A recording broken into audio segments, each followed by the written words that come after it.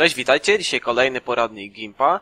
W dzisiejszym odcinku chciałem pokazać Wam, jak można zrobić sobie ramkę do e, zdjęcia w Gimpie, do jakiegoś pliku graficznego. Są dwa sposoby, dwie szkoły, że tak powiem.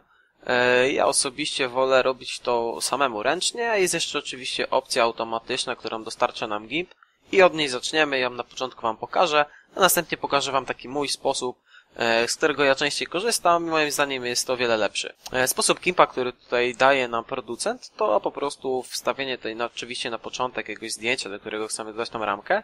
Następnie opcja filtry, dekoracja, dodaj krawędź. Tutaj wyświetli nam się okno dodatkowe, gdzie możemy sobie wstawić rozmiar krawędzi X oraz Y, e, kolor krawędzi i przyrost e, wartości koloru. Ten obrazek jest dość duży, tutaj ustawimy powiedzmy w okolicach 50. No kolor to akurat obojętny. E, przyrost wartości koloru, z tym sobie już kombinujcie z tam opcją. E, myślę, że na poziomie 30 tutaj będzie ok. I coś takiego wychodzi. E, jedynym plusem tutaj tego to to, że jeżeli sobie przybliżycie, to tutaj w rogach widzicie takie mm, po prostu łączenie się tych kolorów. No bardziej jak ramka to wygląda.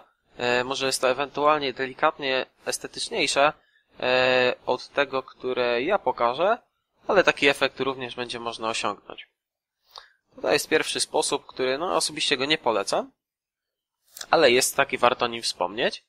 No i teraz drugi sposób, który tutaj e, daje nam e, który chciałem Wam po prostu pokazać, to oczywiście po zaploadowaniu sobie tego obrazka od początku zacznijmy, tak, uploadujemy sobie obrazek do Gimpa, następnie tworzymy nową warstwę, dokładnie taką samą, e, o takiej samej wielkości, jaki jest nasz e, plik podstawowy.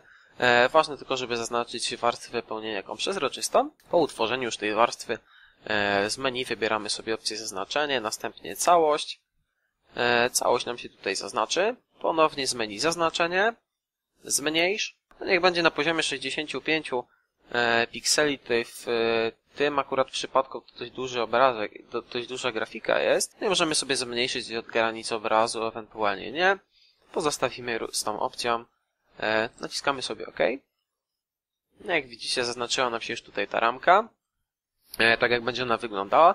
Następnie oczywiście musimy wybrać sobie zaznaczenie e, i zaznaczenie odwrócić, ponieważ wcześniej mieliśmy zaznaczony ten fragment tutaj w środku, a chodzi nam tutaj o ten zewnętrzny. Następnie tutaj z przybornika e, wypełnienie, jakikolwiek kolor. No i tak się to prezentuje. Bardzo podobne do tego, które oferuje nam GIMP, ale to nie wszystko, co tutaj możemy zrobić. Możemy również skor- skorzystać z gradientów. Przeciągamy sobie gradientem delikatnie i tworzy nam się coś w tym stylu. Oczywiście w zależności jaki gradient wybierzecie, jakie kolory, ró- różne będą efekty. Możecie sobie zmienić oczywiście tryb gradientu. No zobaczcie tutaj Abstract 1. Powinien dać jakiś fajny efekt. No jak widzicie dość tak fajny, kolorowe, pasuje to w miarę do tych e, owoców, które tutaj mamy. Fajnie to się moim zdaniem komponuje. Możecie kombinować po prostu z tą opcją, e, dodawać różne, większe, mniejsze opcje, e, różne kompozycje barw, e, tak po prostu, że Wam się to podobało.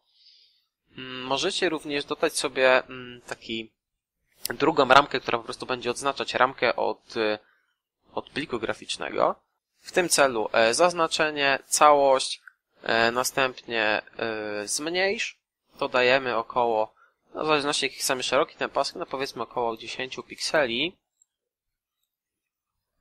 Naciskamy OK. E, następnie wypełnienie. W zależności czy mamy aktywną tą warstwę nie jest aktywna, czyli ponownie zaznaczenie.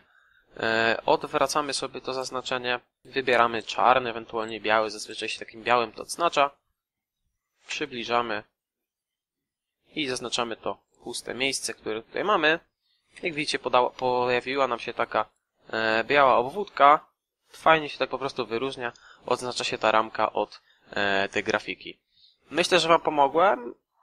To jest taka baza, którą Wam po prostu wprowadziłem wiedzy. Wy sobie z tym po prostu kombinujcie, dodawajcie jakieś własne efekty. Możecie podsyłać e, prace, które z, udało Wam się wykonać w komentarzach pod filmem. Dzięki bardzo i zapraszam Was na kolejne filmy. Na razie, cześć!